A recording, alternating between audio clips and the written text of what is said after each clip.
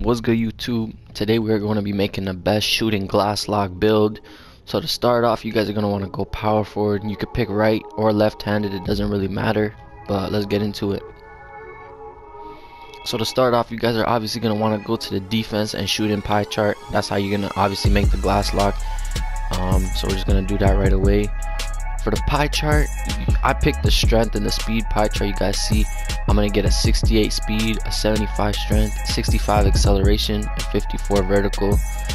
Um, the max strength you can really get is 75 and the max speed you can get is 70 so I think those are the two most important stats and so I just did the best of both and picked this one for the stats you guys are to want to max out your close shot max out your post hook and max out your standing dunk that's gonna get you to eight badges. So I'm gonna try to go down on my standing dunk a little bit. I get a 72 standing dunk 84 shot close and a 73 post hook. For the shooting you guys are gonna want to go max on three max on the mid-range max on the post fade but that only gives you 13 badges. So you are gonna want to go up. I went to um, 19 here so I'm gonna get an 83 free throw as well you guys gonna leave the playmaking? Um, I didn't do anything to my playmaking because you're not gonna be touching the ball. Like you're just gonna be spotting up basically. And since you're a big max out your interior. I maxed out my perimeter. Uh, you want to max out your rebound as well. Max out your block. And with the remaining you can either do lateral quickness or steal. I did go with lateral quickness. But you guys will be able to see that I do have 13 attributes remaining so you could put honestly put that anywhere uh, if you want to get I don't think you can actually get an extra shooting badge. You guys can go to post moves or you guys can put it on the steel. It's honestly up to you.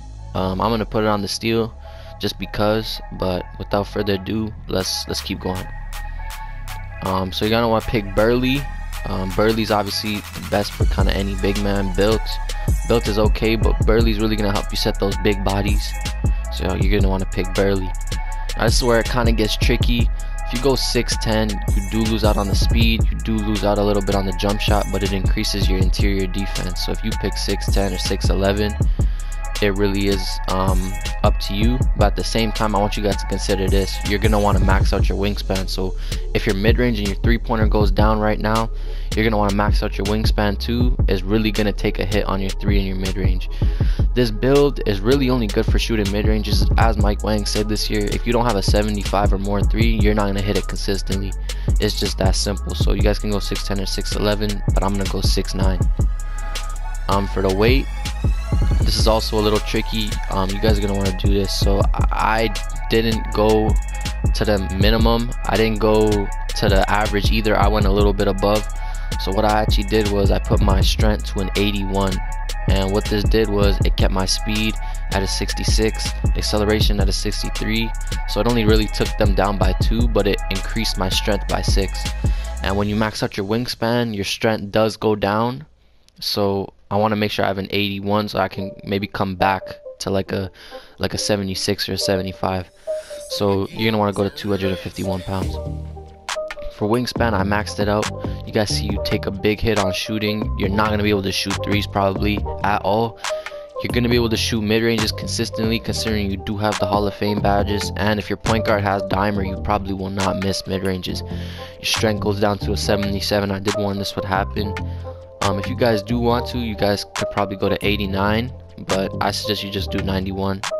It's, it kind of benefits you more with your rebound, with your block, standing dunk, all these things. So, like, I do suggest you go max wingspan. And for your takeover, um, I honestly would suggest rim takeover. You guys can do glass if you want, but I just feel like rim, rim take is just it's just way more OP. Nobody can really score on you when you're in rim take. I think this also does help your rebound. So I'll suggest you go with rim take.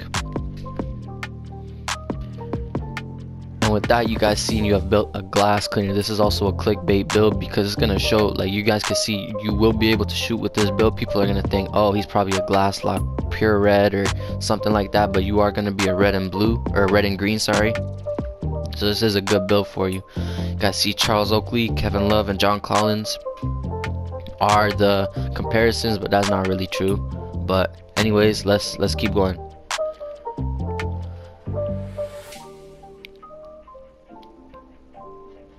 so you're obviously gonna want to go 99 overall rating. Um, it doesn't benefit you to do anything lower. For your finishing badges um, I honestly went deep hooks on silver just in case if I want to post up. Um, I'm gonna be running uh, pure like ISO kind of a slasher. So if the guard switches on to the slasher this guy's gonna post hook. So I'm gonna have this deep hooks on silver um, I'm gonna have back down on silver as well.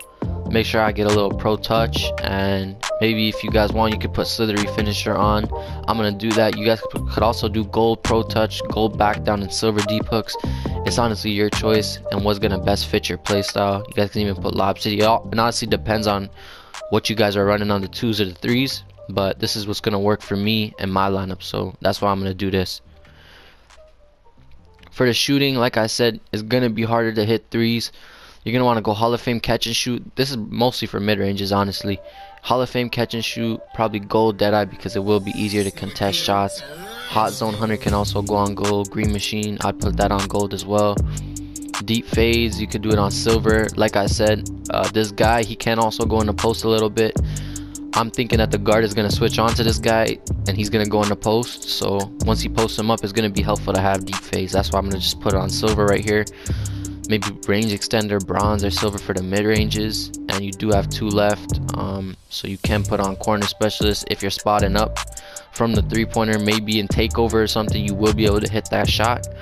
So you can go on gold corner specialist. But honestly guys it's up to you. Like i said it's on it's on it's about what you're running so this is gonna vary for everybody. Playmaking it honestly doesn't matter. You could put on postman technician. Like i said i would like my build. When i'm using this guy i would want him to post up. So i'm gonna put on unpluckable. So when i'm in the post the guard doesn't get a lucky steal or something. But you guys can put on postman technician. But i'm it's, it's honestly up to you. I'm gonna go on unpluckable. And this is the defense. Um i'm not gonna be setting screens like i said one person is gonna be isoing so i'm not gonna need any brick wall. If you guys need it feel free to put it on. I'm gonna put silver box. I feel like my guy's gonna get rebounds either way. Hall of fame rebound chaser silver um, rim protector. I'm gonna put gold pogo stick put little bronze clamps on uh, bronze chase down Hall of Fame Intimidator, and I'm gonna put post move lockdown just in case if someone tries me in the paint.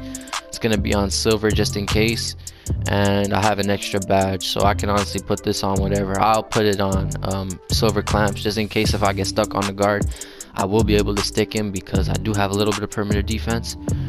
So that's gonna be it for the defense, and yeah, man. So this is kind of the build. Um, I actually suggest you guys go left-handed. I was I was I picked right. Um, if you if you guys are just doing this to sit in the corner while you're while your guard isos and you're sitting on the right side, I would suggest that you pick a left-handed jump shot. If your guard likes isoing from the right side and you're on the left, I would suggest you pick a right-handed jump shot. I think it's just easier, um, but that's just me. I don't know. I would suggest if you're isoing, if you're spotting up on the right, you shoot with your left. That's but it's honestly up to you. That's gonna be it, man. Thank you guys for watching. If you guys want to see more builds let me know and even suggest like if you guys want to see a shooting and playmaking build I will try my best to make that for you and I'll post a video on it but that's gonna be it man I would appreciate if you guys could subscribe and like but without further ado I'm not gonna hold you guys too long I'll see you guys in the next one